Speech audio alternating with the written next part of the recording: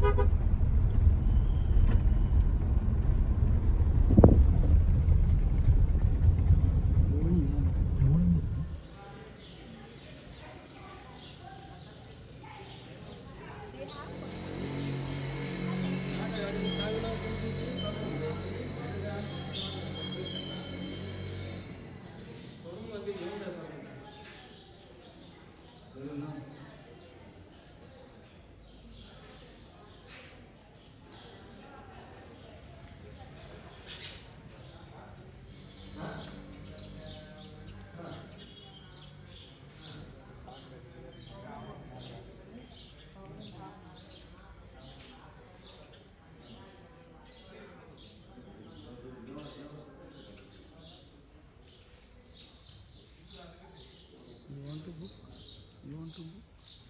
You want to book? Want to book, you? Book. Okay, yes, yes, madam. You want to buy a book? Later on, maybe. See down and Tasha. Don't look up only. See down also. Yeah, yeah. I cannot take it.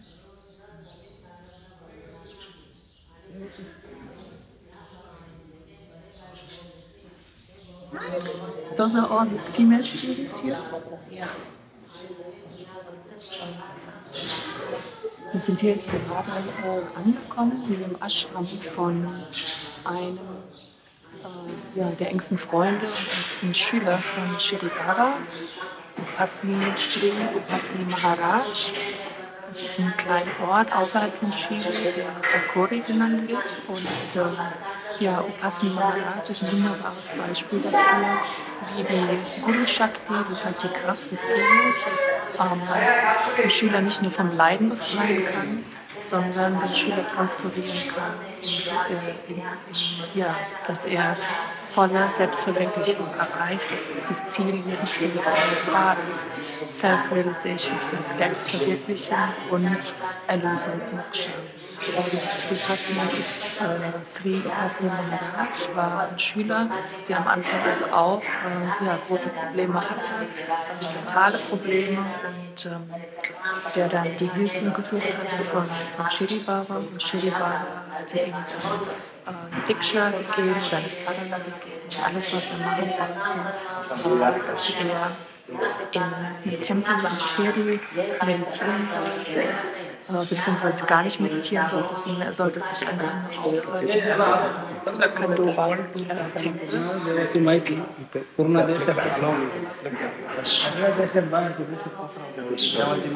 Okay, also ich sehe gerade normalerweise darf ich Bilder und Videos nehmen. Das an, geht. Okay, zusammen. Ja, also war ich stehen geblieben. Das heißt, Ullas Maharaj hatte am Anfang auch große äh, ja, Probleme, sein, sein Mind, seinen Geist unter Kontrolle zu bekommen. Und äh, Chili Baba hat ihm gesagt, er soll sich einfach nur in den Kandoba-Tempel äh, in Shiri setzen und überhaupt nichts tun. Das heißt, seinen Geist vollkommen leer lassen, nichts, an nichts zu denken, keine Sadhana zu machen, sondern sich einfach nur aufhalten dort in diesem Tempel. Das ist der Tempel, den äh, Shri Baba auch ähm, in Shiri besucht hat, wo er eigentlich äh, das erste Mal von seinem Priester begrüßt wurde, ähm, von Mahal Sapati und von ihm dann auch seinen Namen bekommen hat, Om Sai oder Jay Sai, so wurde er begrüßt. Und ähm, ja, und seine Sadhana bestand wirklich darin, seinen Geist einfach nur leer zu machen, in die Stille zu gehen, an nichts zu denken. Und Shri Baba hat äh, seine Guru Shakti, die Kraft, also seine spirituellen yogischen Kräfte, auf ihn übertragen. Das heißt, der Segen des Guru äh, von Shri, also der Segen von Shri Baba hat dann dazu geführt, dass äh, die ganzen mentalen Probleme von äh, Upasni Maharaj, hier sieht man ihn noch in einem schönen großen Bild, ähm, ja, sich aufgelöst haben, heißt transformiert haben. Er wurde praktisch befreit von seinen ganzen mentalen Problemen und ähm, hat dann durch die Guru seine eigene Kraft aufgebaut und hat dann nach einigen Jahren vollkommene Selbstverwirklichung erreicht, sodass er selbst zu einem Satguru wurde. Also so ein Sadhguru, der die höchste Wahrheit ähm, verkörpert hat. Und ähm, ja, Shedi Baba hat ihn dann nach einer gewissen Zeit ähm, einfach äh, ja, beauftragt damit, ähm, seine eigene, seine eigene Lineage äh, zu gründen. Und er ist dann hier in diesem kleinen Ort außerhalb von Shedi, hat er sich niedergelassen und hat dann ja, sein Wissen, sein Guru Shakti dann eben auch weiter übertragen. Und ganz besonders äh, bei ihm war, er hat ähm, ähnlich wie bei uns in unserer Meisterlinie den Frauen, also der, der, der weiblichen Kraft, der Shakti, eine ganz große Bedeutung beigemessen und als ähm, ja, Linienhalter, als Fortführung von ihm hat er auch eine Frau hinterlassen, die ihr jetzt auf diesem Bild seht. Das heißt, er hat praktisch ganz viele Frauen um sich äh, gehabt, die dann äh, den spirituellen Weg beschritten hatten. Und er hat ähnlich wie Swami gesagt, dass Frauen viel schneller auf dem spirituellen Weg vorankommen können, wenn sie es eben einfach auch schaffen, äh, ja, ihre, ihre Blockaden, Swami hat äh, insbesondere Eifersucht genannt als großes Hindernis von Frauen auf dem spirituellen Weg, aber natürlich auch die Karma-Energie und alle anderen Blockaden natürlich auch. Wenn wir Frauen äh, es schaffen, diese Blockaden in den Griff zu bekommen, dann können wir einfach auf dem spirituellen Weg äh, viel schneller vorankommen wie männlichen ja, Kollegen, Freunde, ist, ist nicht sind. Also hier seht ihr einfach, das ist der Platz, es ist nicht groß, der Ashram hier, aber es ist ganz friedvolle äh. Es ist äh, ja einfach schön, den Platz mal zu besuchen, den man ähm, aus der Srisa Sancharita beziehungsweise ähm, ja, aus, aus anderen Schriften über, über Nachfolger von Baba lesen kann.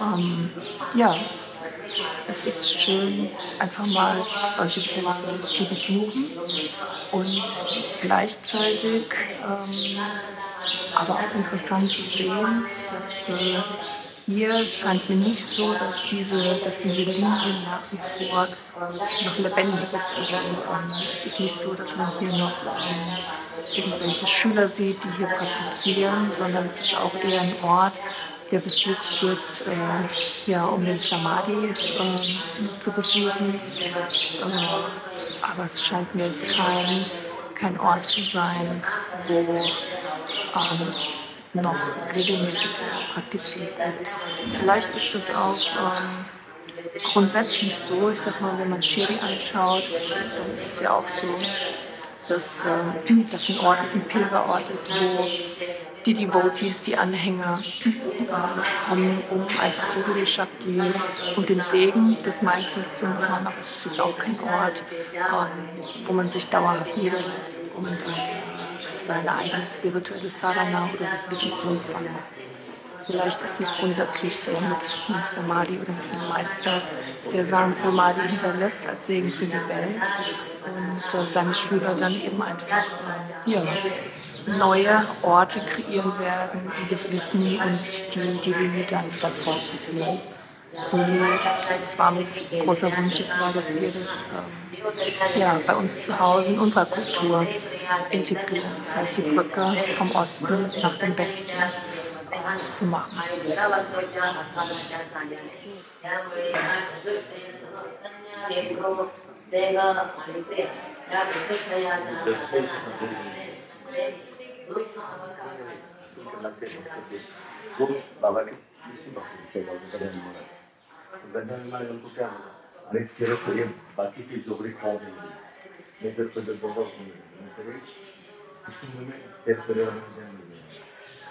gerade gesagt, dass äh, der ganze äh, Platz, der ganze Samadhi hier, der ganze Ashram äh, alleine von Frauen äh, unterhalten wird und sie kümmern sich um, um alles, das heißt um die ganzen Aratis, um die äh, sieben kraftvollen Feuerpujas, die hier äh, im, im Jahr stattfinden. Das heißt, der ganze Ashram wird gemanagt und aufrechterhalten durch die weibliche Energie, das heißt nur durch Frauen.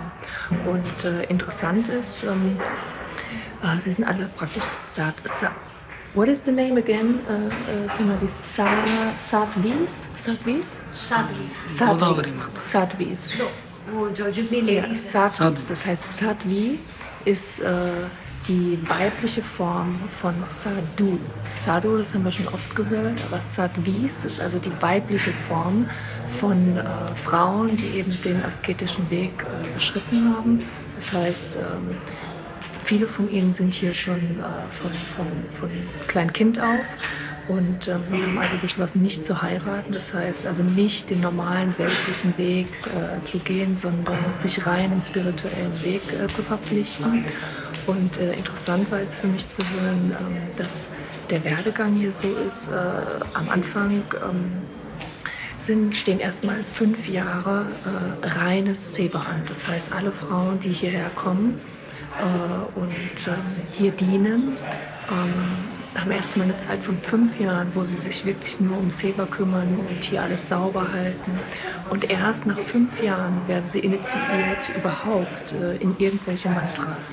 Also das heißt, ähm, das ist irgendwie nochmal für uns zu sehen, ja, wie, wie stellt euch vor, ihr müsst jetzt erstmal zu uns kommen und fünf Jahre lang nur Boden schroppen und den Tempel sauber halten, um dann überhaupt initiiert zu werden in Mantra. Das heißt nach fünf Jahren. Und äh, nach 15 Jahren ähm, kommt dann nochmal eine weitere äh, Initiation, wo sie dann ähm, ja, also auch Homas, Feuerpujas durchführen können und ähm, ja, den, die, die höheren Rituale durchführen können. Also ihr seht, ähm, ja, es braucht am Anfang erstmal diese Reinigung. So, jetzt geht's weiter. Thank you. Thank you so much.